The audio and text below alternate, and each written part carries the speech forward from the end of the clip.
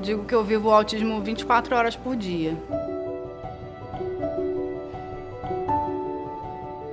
Tem muitas famílias que não saem de casa com seu filho por causa do julgamento, por causa do preconceito, por causa do capacitismo que a sociedade é, impõe.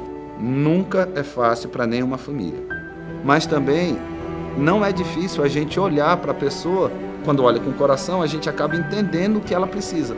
E dá a ela a oportunidade de interagir, porque o que ela precisa é treinar a habilidade social dela, né? muito mais do que um desinteresse social que as pessoas às vezes imaginam que seja.